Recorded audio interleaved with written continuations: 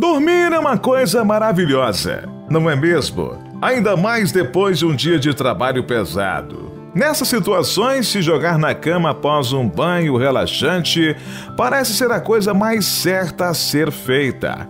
Dormir é tão importante que nossos corpos são capazes de perceber que não estamos dormindo o suficiente, ativando assim mecanismos para nos alertar Ficamos fatigados, bocejamos sem parar, a nossa atenção fica flutuante e muitos outros sintomas que você deve conhecer bem. No fim, parece que vivemos em um paradoxo. Apesar de ser tão bom dormir, lembramos que vivemos em um mundo que demanda cada vez mais de nós.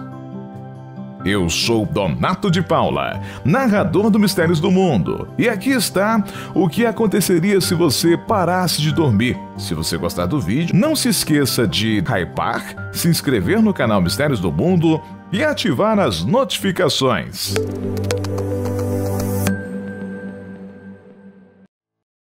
Por que dormimos? Curiosamente, a ciência estende relativamente pouco sobre a evolução do sono e por que dormimos. Afinal, permanecer inconsciente por horas e horas de sono era algo que nos deixava vulneráveis aos predadores à espreita, o que não era vantajoso para a nossa espécie. No entanto, sabemos que existem relações entre o sono e a saúde. Pesquisas revelam que adultos que dormem de 6 a 8 horas de sono por noite possuem uma melhor qualidade de vida e tendem a viver por mais tempo. Então, e se simplesmente você parasse de dormir? Você sabia que uma pessoa passa em média 23 anos, 9 meses e 7 dias sua vida dormindo? É um tempo valioso, não é mesmo? Que você faria se tivesse sempre às 24 horas sem precisar dormir? Estudaria mais? Aproveitaria mais a vida? Ou se dedicaria ao trabalho, a fim de ascender socialmente e em sua profissão? Será que conseguiria manter a produtividade? Bem, a resposta é não.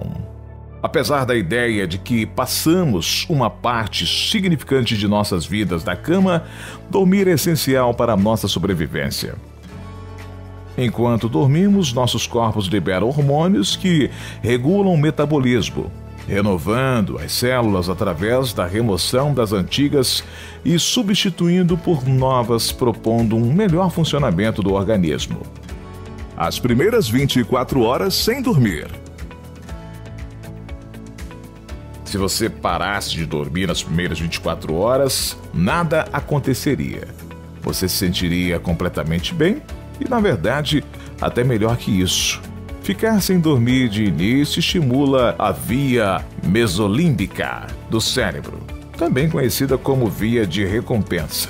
Essa via é composta por uma coleção de neurônios que liberam dopamina, e você ficaria muito feliz, e até mesmo com a libido alta. Mas isso não duraria por muito tempo. Após as 24 horas de privação de sono, todas as suas reações se tornariam mais lentas. Seu cérebro começaria a desligar as regiões responsáveis pelo planejamento e tomada de decisões. Você começaria a se esquecer do que estava fazendo, adotaria um comportamento mais impulsivo e com percepção bem mais limitada, o que te deixaria muito parecido com um bêbado. Após 48 horas sem dormir, seu corpo começaria a colapsar. A produção de glicose seria afetada, deixando-o sem nenhuma carga de energia. Você ficaria pálido, com os olhos vermelhos e com uma aparência cansada com rugas ainda mais aparentes. No terceiro dia, você teria alucinações. Sem a fase REM do sono, seu cérebro traria à tona seus sonhos e seus pesadelos. Mesmo com você acordado, seus músculos se enfraqueceriam pela quebra de proteína que ocorre no organismo. Seu corpo tentaria retirar energia de qualquer lugar que conseguisse para que pudesse te manter acordado, ou seja, você começaria a perder muita massa magra. Você não conseguiria se comunicar direito e nem de longe teria uma vida normal, parecendo um zumbi. O caso científico mais longo documentado foi de grupos de pessoas que ficaram acordadas por 11 dias. Seguidos, os participantes desenvolveram problemas de percepção, concentração e legibilidade. Nenhum deles foi submetido à condição que trariam danos de longo prazo para a saúde, sejam problemas fisiológicos, neurológicos ou psiquiátricos. Após 11 dias, podemos apenas especular, pois não há registros científicos oficiais de que alguém tenha ficado mais tempo que isso sem dormir. Seu sistema imunológico estaria tão fraco que você poderia facilmente morrer por uma gripe qualquer. Perto da terceira semana, se você ainda tiver a sorte de estar vivo, teria um ataque cardíaco já que seu corpo não teria de onde mais tirar mais energia. Portanto, fica o alerta: jamais fazer experimentos como esse.